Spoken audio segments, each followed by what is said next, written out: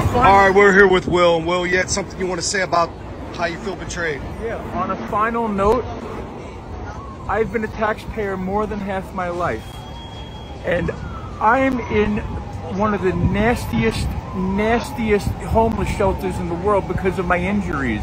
Because of no fault of mine, just my injuries. But illegals come over in this country, migrants come over this country, and they get to stay in a hotel and collect the paycheck. And jump the border illegally. Jump the border illegally, get here and collect the paycheck. How does it make you feel? Make me feel. Make me feel betrayed, screwed. Like, like, like, uh, like, like, like your family just crapped on you. Right.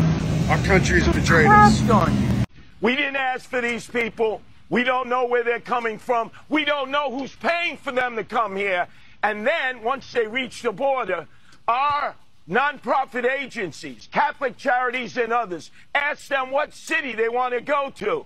They need to go back to where they came from because they serve no purpose here. They have no negotiable skills. It's not going to help America. It's going to cost us money and destroy our city. Now, I know I keep saying this in all the video I posted regarding what's happening in New York, but New Yorkers, y'all voted for this.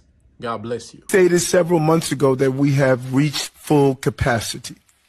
And that full capacity was verbalized, and now New York is just going to be visually actualized.